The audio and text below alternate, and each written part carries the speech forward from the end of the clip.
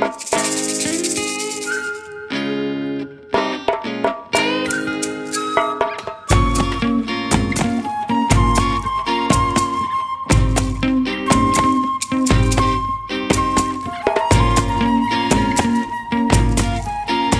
food at Go Jamaica is very yummy and tropical. We really try to be playful with the menu, so don't be scared when we say vegan or vegetarian. It's not just boring, it's not just salad. It's so many different things.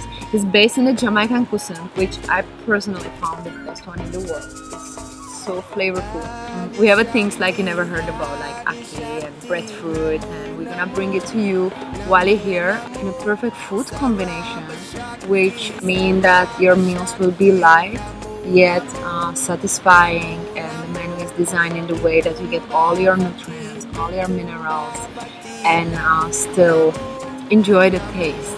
I mean, we hope you will, you know?